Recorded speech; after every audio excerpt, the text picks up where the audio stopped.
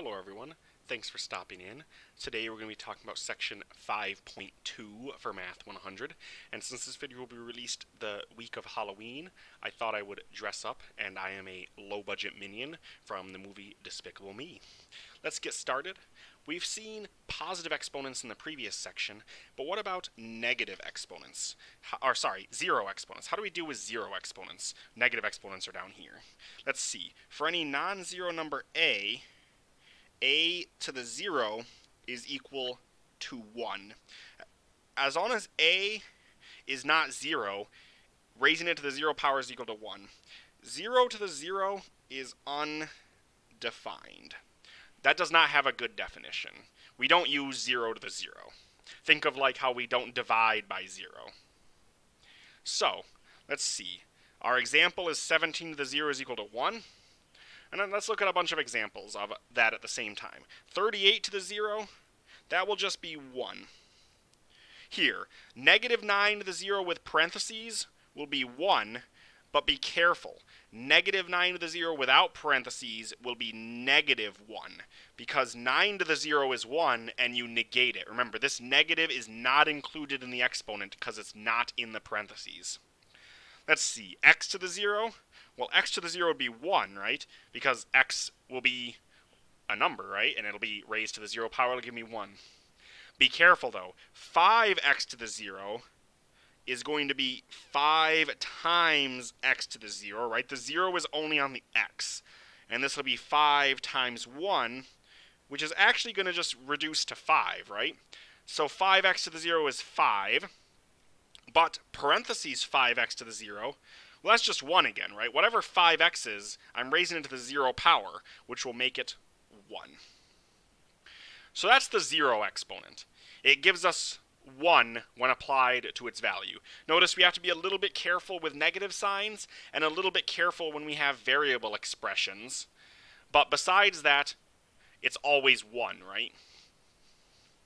Now, negative exponents. For any non-zero real number and any integer n, a to the negative n is equal to 1 over a to the n.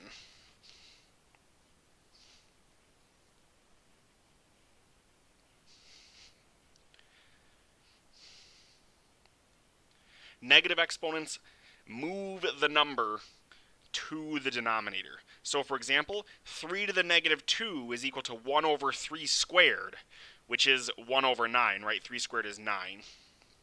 Be careful with negative exponents. A lot of people want 3 to the negative 2 to be equal to negative 9. That is not how it works. 3 to the negative 2 is equal to 1 ninth. Negative exponents give us division problems. So let's take a look. 9 to the negative 3 would be equal to 1 over 9 to the 3. 1 quarter to the negative 3, we need to be careful. It's going to be 1 over, and then in the bottom I'll have 1 quarter to the third. Now let's work with this a little bit. Let's see, we'll have 1 in the top, that's not changing. In the bottom, this 3 will get applied to both the 1 and the 4, right? That's one of the rules for my previous section 5.1. That's one of the power rules. I don't remember whether it's A, B, or C, but it's one of the power rules, right? 3, 1 to the third is just 1 over 4 to the third. And now, I don't like this 4 to the third in the bottom, so I'm going to multiply by 4 to the third here. But remember, if you do it to the bottom of the fraction, you got to do it to the top, right? It'll cancel my 4 to the thirds here. It'll give me, let's see, 4 to the third in the top over 1 which is just 4 to the third, right? Anything divided by 1 is 4 to the third. So we reduced the complex fraction, right? We multiplied by the denominator to cancel it out, right? So we get 4 to the third. Notice it just flipped the, the 4, right, to the top. 2 thirds to the negative 5. Well, 2 thirds to the negative 5 would be 1 over 2 thirds to the fifth, which maybe this time I don't want to work with the um, complex fraction part. I would rather write it as 1 divided by 2 over 3 to the fifth. Now, before division comes exponents, so this would be 1 divided by 2 to the fifth over 3 to the fifth. Right? The 5 will distribute to the 2 and the 3. I've now done the exponent part. I'm going to leave these in exponential form because now I'm going to KFC. 3 to the fifth over 2 to the fifth, which anything times 1 stays the same, right? I keep flipped and changed to perform the division. So notice this started off as 2 thirds to the negative 5 and ended as 3 over 2 both to the 5. Now we're actually going to see that there's actually a much shorter way to do problems of this nature when we have fractions and negative exponents. So if it seems a little messy right now, don't worry, there's going to be a shortcut later on. Now, 6 to the negative 1 over 3 to the negative 1, be careful. There's subtraction. Subtraction does not play nicely with exponents. This will be 1 over 6 minus 1 over 3. 1 over 6, 6 to the negative 1, minus 1 over 3, which came from the 3 to the negative 1. Now, let's see. If I wanted to simplify this any farther, I would have to get like denominators, right? Let's see. 1 over 6 minus 1 third can become 2 over 6, right? Multiply by 2 and multiply by 2. 1 minus 2 is negative 1 over 6. So for this one, after I apply the exponent rule, I have to perform a regular calculation, right? Now notice these came in several different flavors. Subtraction is always going to be messy. Subtraction never works nicely with exponents. But these fraction ones, we're actually going to see a trick in a moment that will make it a little bit easier. Now, we have a caution first. Caution. A negative exponent does not indicate a negative number. Negative exponents lead to reciprocals. Notice things are getting flipped around, right? 1 over 4 became 4 over 1. 2 over 3 became 3 over 2. That is what is called reciprocals. Notice there wasn't any negative numbers in these first three examples. Nothing was negative after I applied the exponent rule. Don't let that trip you up. Negative exponents lead to reciprocals. Now, for any non-zero numbers a and b, and any integers m and n, a to the negative m over b to the negative n will be equal to b will be in the top and its exponent will become positive. In the bottom, I will have a and its exponent will become positive. It'll be m. I like to think of the negative exponent as the key that allows you to move from numerator to denominator. By doing so, you use your key and it becomes positive. a to the negative m moved down bottom and became a to the m. b to the negative n moved up top and became b to the n. In our example, 3 to the negative 5 over 2 to the negative 4 becomes 2 to the 4 over 3 to the 5. Notice the 2 moved up, the 3 moved down, the negative 4 became positive, and the negative 5 became positive.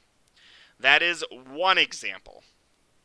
The other example, a over b to the negative n is equal to b over a to the positive n. Notice if it's a fraction inside parentheses and a negative exponent outside, I can flip the fraction inside and make the exponent positive. Negative exponents involve flipping numerators and denominators. In our example, we have 4 fifths to the negative 3 becomes 5 fourths to the 3. And notice these examples here would help us shortcut these.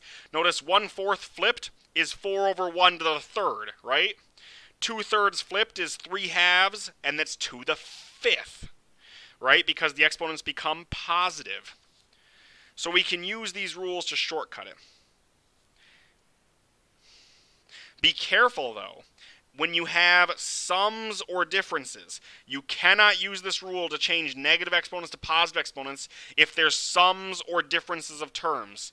For example, 5 to the negative 2 plus. See the plus? Immediately I know I cannot use any of my shortcut rules. Addition does not play nicely with my shortcuts. 3 to the negative 1. So that becomes 1 over 5 squared plus 1 over 3. 7 is left alone, minus 2 to the negative 3 becomes 1 over 2 cubed. This is a complex fraction, right? It's got fractions inside of fractions. When you have plus and minus, you cannot use these shortcut rules. You have to apply them individually to each step. This is much more difficult to sort out than being able to just use the shortcut rule, right? You have to apply each step individually. You can't use the shortcuts. You can't use these shortcut rules we've learned when you have plus or minus. They don't work nice with exponents. Now, we are going to have another rule called the quotient rule. We already had a product rule. The quotient rule is going to be similar. If I have a to the m divided by a to the n. So remember, maybe over here, remember, the product rule was a to the m times a to the n, and remember you added the exponents. That's the product rule, right? The quotient rule What's the opposite of times? It's divide. What's the opposite of plus? It's minus. We keep the base the same and we subtract the exponents. Keep the same base and subtract the exponents. In an example, 5 over 8 or 5 to the 8 over 5 to the 6 would be equal to 5 to the 8 minus 6, right? 8 minus 6, which is 2, which is 5 squared is 25, right? Caution, though. Don't reduce the 5s to be 1. The base stays the same. This is not correct, right? By the quotient rule, the quotient must have the same base. So, 5 to the 8 over 5 to the 6 must equal 5 to the 2, 8 minus 6. We can confirm this by writing it out. 5 to the 8 in the top would be there's 5, 6, 7, 8 fives. And in the bottom, we'd have 6 fives, right? Notice I can cancel pairwise the first six fives from the top with all six fives, oops, sorry, with all six fives in the bottom. 5 times 5 in the top gives me 5 squared over, there's nothing left in the bottom. Remember, when there's nothing left in a fraction after you've canceled factors, you're left with the number 1, right? So 5 squared over 1, anything over 1 is itself, so I get 5 squared when I reduce that out, right? Now, once again, you're not going to run to write out these fives every time. It takes a while to write eight fives over six fives, especially if the exponents get bigger. So we want to learn these rules, these quotient rules, these power rules, and these product rules. Now, let's take a look at some examples. Let's take a gander here. We've got 3 to the 4th over 3 to the 6th. Well, this will be equal to 3 to the 4 minus 6, which would be equal to 3. 4 minus 6 is negative 2, right? Now, that's a negative exponent, so I'll put it in the denominator. It'll be 1 over 3 squared. Now, I could make that 1 over 9, but I'm going to leave it in exponential form so we can see the exponent rules at work. Now, in my next example, y to the negative 4 over y to the negative 9 well, they're both negative exponents, right? Remember, negative exponents allow you to flip which side of the fraction you are on. So y to the 9 will go on top, because the y to the negative 9 was originally in the bottom. And the y to the 4 will go to the bottom. Now, I have a quotient with the same base. This will be y to the 9 minus 4 which is y to the 5, right? 9 minus 4 is 5. Alternatively, negative 4 over, I could have just used the quotient rule right away. I could have done y to the negative 4 minus negative 9, right? Negative 4 minus negative 9. They have the same base. Notice double negative, this would become a plus, right? Negative 4 plus 9 would become y to the 5 also. Notice I got the same answer either way. Sometimes you can use rules in either fashion. Now, let's look at this next example. Notice 2 to the 4 times z plus a to the 7. Oh, there's a plus sign. I need to be careful. Whenever there's a plus sign, I should be cautious. Now look, 2 to the negative 5, z plus a to the 6. I have z plus a appearing in both the top and the bottom. And in both parts, it's in parentheses. This is actually a base, right? It's something to the 6. I can leave the z plus a together. So let's look at the 2 first. 2, let's see. Quotient rule will tell me I take the 2 to the 4 and subtract the negative 5. You also could have, you know, moved the negative 5 to the top if you wanted to. Either way, but I'm just going to use the quotient rule. Now, for the z plus a portion, I have 7 and 6, so it'll be 7 minus 6. Now, I've got to clean this up. This becomes 4 plus 5, right? That becomes 2 to the 9. 7 minus 6 is 1, so this would be z plus a to the 1. You don't need to write the 1 exponent, though, but I do need to keep it together, right? This group was its own base. If you wanted to write the 1, you could, and then remove it later, right? But we don't need to write the 1 exponent. Now, in our next example, it's a little small, so I'm going to rewrite it first. 5x to the negative 3, y to the 8, over 3 to the negative 2, x to the 4, y to the 6. Excuse me. Now, when I look at this, I notice that two of my bases have negative exponents. This one does, and this one does. And I also notice there's no addition or subtraction here. Everything is multiplication or division, right? It's multiplication in the top divided by multiplications in the bottom. So I know I can use my rules. I know I can use my shortcut rules. Now, the reason I identified what have negative exponents is because the things with negative exponents are going to flip-flop where they are. 3 to the negative 2 will move to the top and become 3 squared. X to the negative 3 will move to the bottom and become x to the 3. Everything else will stay where it is. And remember, we're multiplying times 5 times y to the 8 and then in the bottom I had x to the 4 and y to the 6. Now, in the top, 3 squared is 9 times 5 is 45.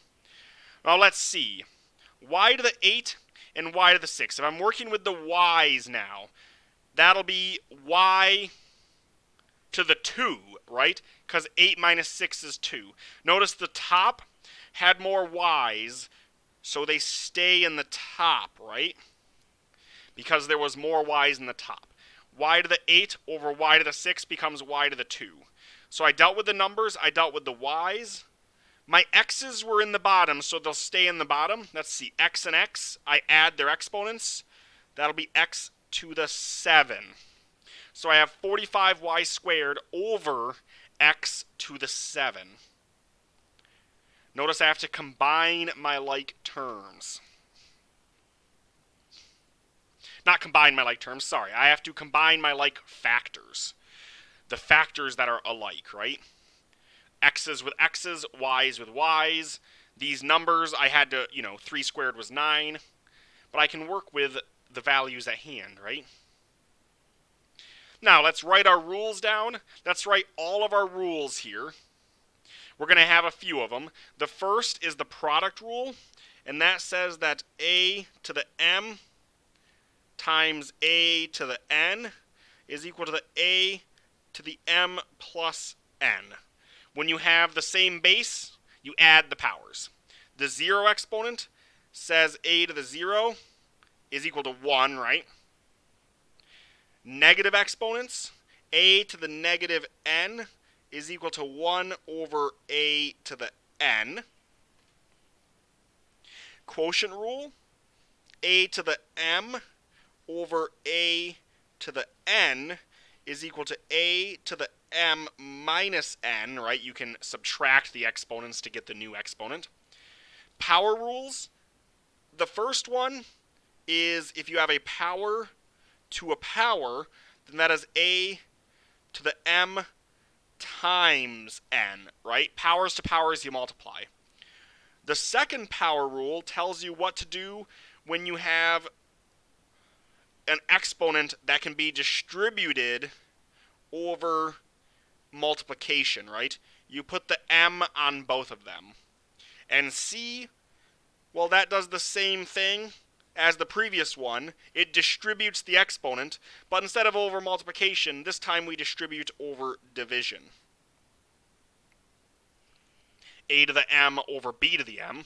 And then the negative to positive rules, if we have a to the negative m over b to the negative n, remember, negative exponents are the keys to flipping things around. This would become b to the n over a to the m, right? They keep their exponent, but they become positive, and they switch sides. Or, if you have a over b to the negative m, you can flip to become b over a to the positive m on the outside. And all of these rules have their uses. And we want to make sure we know all of them. We will be using all of these rules. Now, there's a lot of them here, right? There's what? One, two, three, four, five, six, seven, eight, nine different rules here. It might be beneficial to make flashcards to help you memorize them. You want to know these rules. Maybe, you know, copy this page and sleep with it under your pillow to help you remember it. You know, absorb that information. You need to know these different rules. Now, on the last page, we have some combination exercises. They're going to use multiple of the rules. Now, let's write it a little bigger. This one is 2 cubed squared over 2 to the 6. Let's see. The bottom, I can't do anything to the bottom by itself, right? If I'm just looking at the top and bottom, the top has stuff to do, but the bottom, I'm going to leave that alone for now. I'm going to figure out what's going on in the top. That's powers to powers. That'll be 2 to the 6 over 2 to the 6, right? 3 times 2 is 6. Now, notice I've got the same base here. This will be 2 to the, let's see, 6 minus 6 is 0. And 2 to the 0 is 1, right? Now, maybe you saw that you could go from, you have the same thing over the same thing. That's just always going to be 1, right? Same, same answer, right? Either way, 6 minus 6 gives us 0 as the new exponent because we're dividing, or I can just see that I have the same thing divided. I know anything over itself is always 1, right? 10 divided by 10 is 1, 100 divided by 100 is 1, 17,300,002 divided by 17,300,002 is 1, right? Always gives us 1 there, or we can use the rules. Now in the next example, notice I have stuff in parentheses. But I should always check, are my parentheses groups all the same? And they are. It's 3y, 3y, and 3y. They are exactly the same. These are three things with the same base, you know, multiplied and divided, but I can work with it. The 3y to the fourth will stay where it is, as will the 3y squared. But this negative exponent we'll move that 3y to the top. Notice there's nothing left in the denominator, so I did not write a denominator because this here moved up top, right? Now, base, base, base are all the same, so I'll keep the base the same and add the exponents. That'll be the seventh power, right? 4 plus 2 plus 1 is the seventh power things with the same base, you add their powers. Now, I can finally distribute. Notice I waited to distribute to see if I could combine. Because now this will become 3 to the 7 y to the 7. This is not the only way to do this problem. You could have started by distributing the 4, distributing the 2, and distributing the negative 1. Or you could have distributed the 4 here, the 2 here, and the 1 here. Either way, your final answer will always be 3 to the 7, y to the 7. That will always be the final answer. Now the last example 5a to the negative 3 over 2 to the negative 1 b to the 4, all in parentheses to the negative 2. Now, I see a few different things I can do first. I could move the a down bottom and the 2 up top, because they have negative exponents, if I'm ignoring the outside of the problem for now, if I'm working within. Or, notice I have a negative exponent here. The first thing I am going to do is work with this negative exponent. Now, there's two ways I can work with this. I can either distribute this negative 2 inside to the 5, the a, the 2, and the b, right? I can bring it into everything. Or I can notice it's negative. That will flip my fraction and make itself positive. So I dealt with this negative exponent. Now, I still have negative exponents. I'm going to deal with those next. Neg 2 to the negative 1. That 2 will move down bottom times 5. And that'll be it in the bottom because the a will move up top to become a cubed and the b will have stayed right there and then I have squared here. Notice the 2 moved south and the a moved north, right? They switched where they were. Because that's how negative exponents work with a fraction. Now, maybe I want to distribute my 2 to everything. So I'll distribute a 2, distribute a 2, distribute a 2, and distribute a 2. This will become a to the 6, powers to powers you multiply b to the 8, powers to powers you multiply, over 2 squared times 5 squared. Now, maybe the question asks me to evaluate, it wants me to evaluate numbers with exponents. What is 2 squared? That's 4, right? Times 5 squared is 25. In the top, there is nothing else I can do to simplify these values, a to the 6, b to the 8. But in the bottom, I can multiply to get 100, right? and I'll have a to the 6b to the 8 in the top. This is my final answer. And no matter what sequence of steps you took of the options I mentioned in the beginning, right? I said you could have distributed the negative 2 in right away. If you did that, notice what would happen. It would become 5 to the negative 2. A negative 3 times negative 2 is 6 over negative 1 times negative 2 is 2 to the 2, b to the negative 8. I distribute the negative 2 rather than use it to flip, right? That's another first step I could have taken. There were several ideas I could have used first in this problem. I generally prefer to get rid of negative exponents first. Just turn them positive. Get all the negative exponents out of the way first. That's my general strategy. Just so I don't have to deal with negative powers throughout the rest of the problem. Notice I got rid of this one first by flipping the whole thing. Then I got rid of the negative exponent on the 2 and the a by flip-flopping where they were.